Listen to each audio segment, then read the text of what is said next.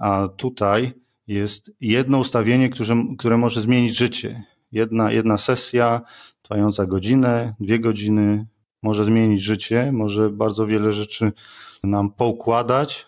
Czyli pod tym kątem te, te metody są zupełnie niesprowadzalne do siebie, są zupełnie inne. Ale jest coś podobnego, jest pewna sięganie do głębi. Do głębi, na razie mówię to bardzo, oczywiście zdaję sobie sprawę ogólnikowo, no, mówię o jakiejś głębi, ale jakiej? Mogę to rozwinąć, ale nie wiem,